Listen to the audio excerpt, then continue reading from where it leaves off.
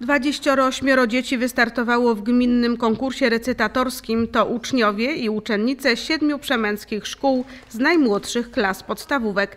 Stawką jest start w powiatowym konkursie w Wolsztynie. Na y, szczeblu właśnie szkolnym zostały wyłonione y, dzieciaki, które tutaj dziś będą mogły już za chwilę zaprezentować swoje umiejętności y, recytatorskie.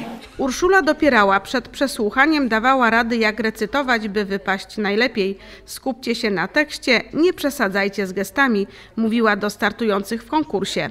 Mali recytatorzy wybrali wiersze popularnych polskich autorów, ale nie tylko. Jak co roku y, wiersze Juliana Tuwima i y, Jana Brzechwy, ale także współczesnych poetów takich jak na przykład Agnieszka Frączek czy Dorota Gelner.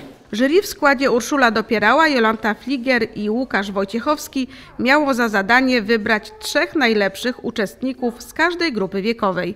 Do Wolsztyna na konkurs powiatowy pojadą z klas pierwszych Kaja Kłodzińska-Biskupice, Maria Marciniak-Przemęt, Marcelina Rejman-Bucz, z klas drugich Marta Kozłowska-Mochy, Nikola Gertych-Starkowo, Lena Kurasińska-Mochy, z klas trzecich Amelia Golińska-Biskupice, Wiktoria Rybarczyk-Mochy, Dobrawa Górna Bucz. W drugiej turze przesłuchań konkursowych wystąpią uczniowie klas 4-6 z przemęckich szkół.